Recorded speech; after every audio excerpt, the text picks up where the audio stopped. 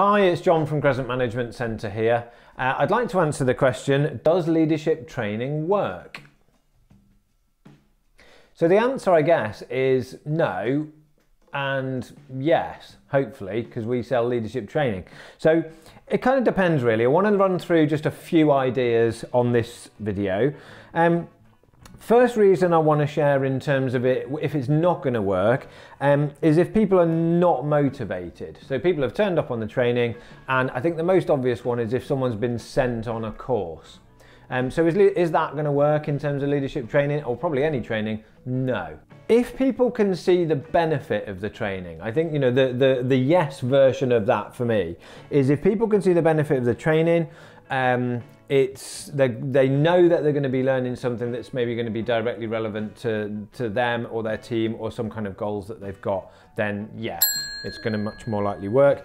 Also i would suggest in that case if there is a kind of motivation question should the person be on it? Is there somebody who's who would be better to go on that training instead? Um, and for that individual for those individuals that are not particularly motivated to come on the training then in actual fact is there an alternative to training? Training is, uh, I've done a video already on, is training the answer? Um, there are lots of alternatives. Somebody might benefit more from some coaching or some job shadowing or some, some other ways of, of learning rather than taking up a place on leadership training that maybe could have gone to somebody else. Second reason why leadership training might not work. So does leadership training work? No. Um, if people don't turn up, then it doesn't work fairly obvious one. Um, but quite often we have um, programs that we run for companies, and if people don't turn up, it's not going to work, it's not magic. Um, and also, uh, if people don't engage, and I think we've seen differences in engagement as a result of doing more te- um, uh, Zoom or Teams based, you know, kind of remote and virtual delivery, um, that there is potential for people to kind of be multitasking or to have their cameras off and things like that, that you just wouldn't see in a training room. And, that, and that's something that we need to kind of work on. So I think the alternative to that, so does training work? Yes. Um, if it's designed well and if you have precise learning outcomes, again, similar to my previous point, um, I think if you've got the design right, um, then people are more likely to engage in, in something where they're connected to or aligned with those learning outcomes. The next reason why I think training, leadership training might not work um, is if you've got the wrong people um, or maybe it's the wrong content rather than the wrong people on the training. Um, I think it does work if the people buying the training know what the needs are of the people who are coming on the training. And again that needs to be done in a fairly precise way. Recently this week in fact i've delivered a leadership program um, that was to be uh, it was a level 7 program. It's kind of master's degree equivalent. It was um, people stepping into strategic roles and senior roles. Uh, and actual fact when i asked the people that was what the customer bought and then when I was asked, uh, when I asked the group, okay, so you know, what are your expectations? What are your personal outcomes? Right at the outset of that training course, they were very, very different from what had been purchased and what we were there to deliver. Um, is that my responsibility? Yes, partly, and also the responsibility of, uh, of the company buying it. So make sure if you're going on a leadership training, you know what the content is and what your outcomes are. And if you're the one buying it, again, similar. Another reason why leadership training isn't going to work is an overly demanding schedule.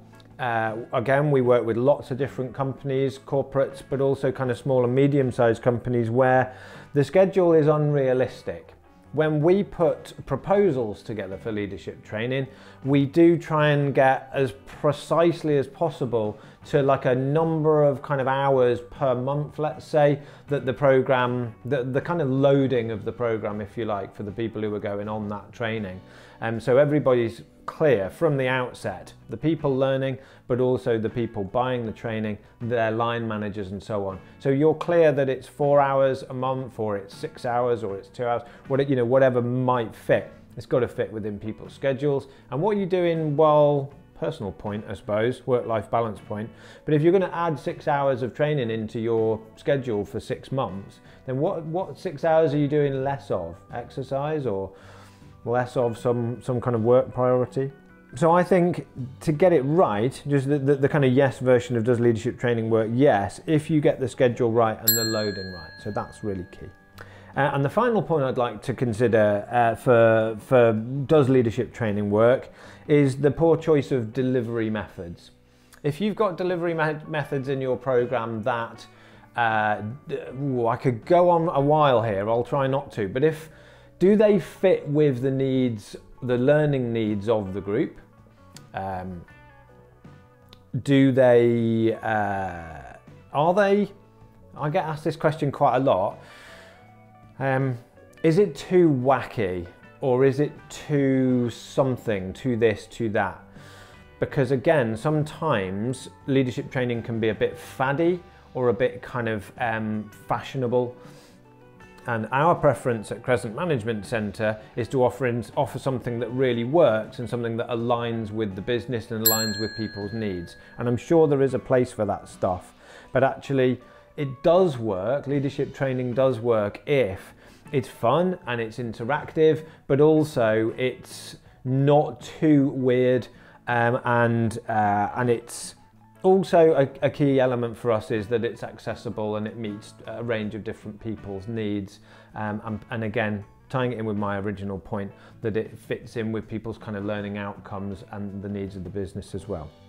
So thanks very much for taking the time to listen to my video. That's a few thoughts on does leadership training work. Uh, if you're interested in getting any more uh, information uh, as an individual learner or for training for your company, then please do get in touch. Thanks very much for watching.